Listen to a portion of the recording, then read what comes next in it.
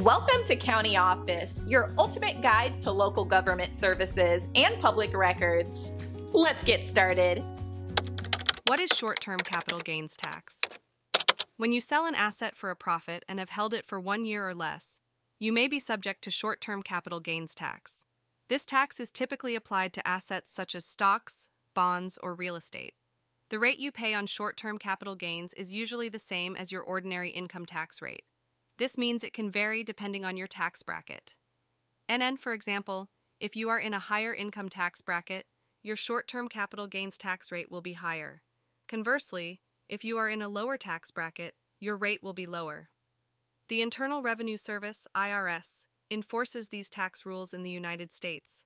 It is important to keep accurate records of your transactions to ensure you pay the correct amount of tax. YINEN short term capital gains are different from long term capital gains which apply to assets held for more than one year. Long term capital gains usually have lower tax rates compared to short term gains. Understanding the distinction between short term and long term capital gains can help in tax planning and investment strategies. End yen.